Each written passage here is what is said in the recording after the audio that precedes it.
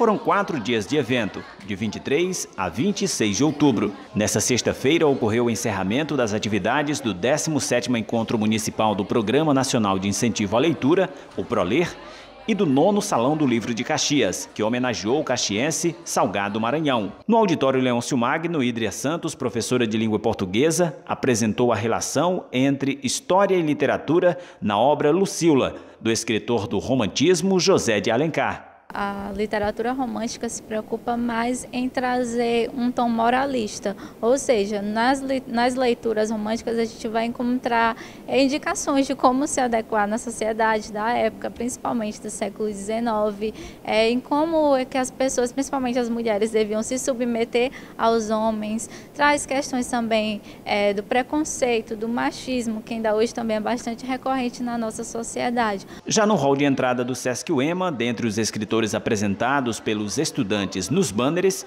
estava Homero e suas obras Ilíada e Odisseia. Juliana Costa, estudante do primeiro período do curso de Letras, apresentou as aventuras de Aquiles, um semideus que está na obra Ilíada.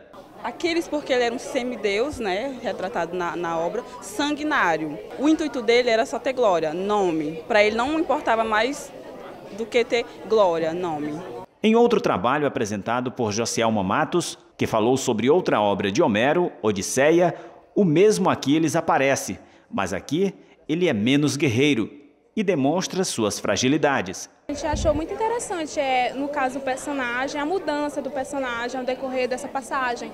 Porque ele é um herói destemido, ele não era um deus, não era um semideus, ele era um herói comum. Em um dos laboratórios do Sesc UEMA, alunos e professores ainda apresentaram comunicações orais para a organização do evento, a proposta do encontro, com exposições, palestras, minicursos, documentários, mesas redondas e lançamentos de livros, conseguiu atingir seus objetivos. Então nós estamos bastante satisfeitas pelo que o público que compareceu ao 17º simpósio de é, Encontro Municipal do Prolê e ao nono Salão do Livro, o que eles vivenciaram foi de alta qualidade, as palestras e tudo. Então o nível de satisfação foi muito elevado.